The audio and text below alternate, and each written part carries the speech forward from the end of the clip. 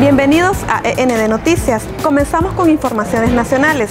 Los arroceros y el gobierno afirmaron que no habrá desabastecimiento de arroz a pesar de las pérdidas que pudiera ocasionar la sequía. Sostuvieron que hay arroz para tres meses más en el país mientras salen las nuevas cosechas. La batalla legal por el puerto turístico Rubén Darío, ubicado en el malecón de Managua, llegó a su fin. El empresario Milton Arcia y el Estado de Nicaragua llegaron a acuerdos satisfactorios.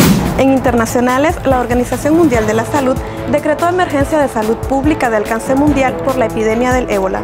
Esta determinación permitiría tomar medidas como cuarentenas, cierres de fronteras o limitar el tráfico aéreo internacional. En deportes, el Bayern Múnich anunció el fichaje del portero Pepe Reina. El español aseguró que hará lo posible por competir con Manuel Neuer. En fama, un concierto sorpresa en Londres conmemoró los 45 años de la famosa foto de Abbey Road de los Beatles. Los actores del musical Let It Be cruzaron la conocida calle de Londres como lo hicieron los originales en 1969.